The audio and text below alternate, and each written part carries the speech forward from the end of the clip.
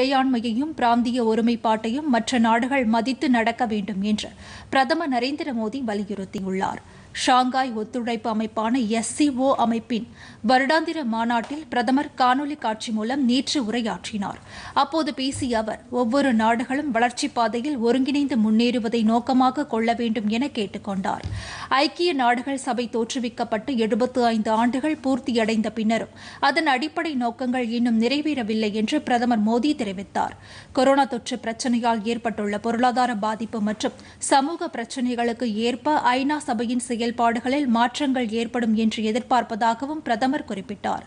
உலகளாவிய யதார்த்த நிலைக்கு ஏற்ப சீர்திருத்தப்பட்ட பன்முகத்தன்மை கொள்கைகள் வகுக்கப்பட வேண்டும் என்றும் அது சமகால சவால்களையும் மனிதகுல நலனையும் பேணி காக்கும் வகையில் அமைந்திருக்க வேண்டும் என்றும் பிரதமர் நரேந்திர மோடி கேட்டுக் கொண்டார் भारत का घनिष्ठ सांस्कृतिक और ऐतिहासिक संबंध रहा है हमारे पूर्वजों ने इस साझा ऐतिहासिक और सांस्कृतिक विरासत को अपने अथक और निरंतर संपर्कों से जीवंत रखा